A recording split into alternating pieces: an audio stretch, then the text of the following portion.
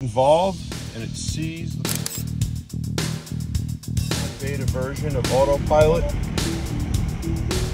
And we're coming down we're coming down. And stops on its own no feet involved and it sees the person up ahead.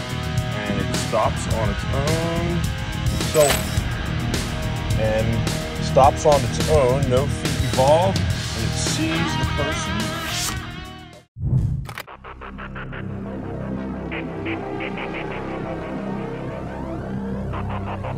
pilot. And coming down we're coming down. And stops on its own no feet involved and it sees the person. Okay here we go again. Get up to speed. Let's see if it stops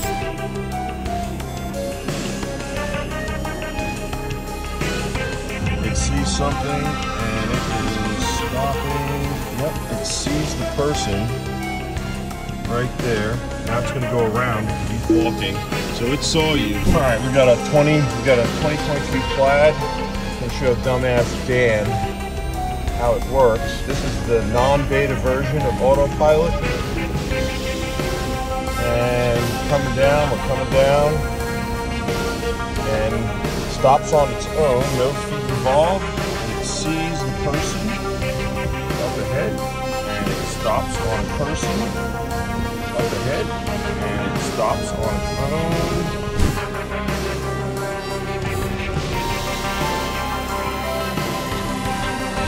This is the non-beta version. This is the version that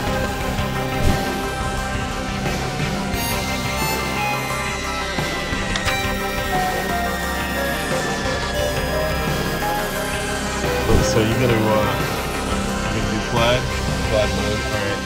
So uh, one, two, three, go. Oh, okay, whoa. I'm Dan O'Dowd. I'm a safety engineer. And Tesla Full Self-Driving is the worst commercial software. Elon Musk says Tesla's full self-driving software is amazing. It will blow your mind. It sees something and it is stopping. Yep, it sees the person.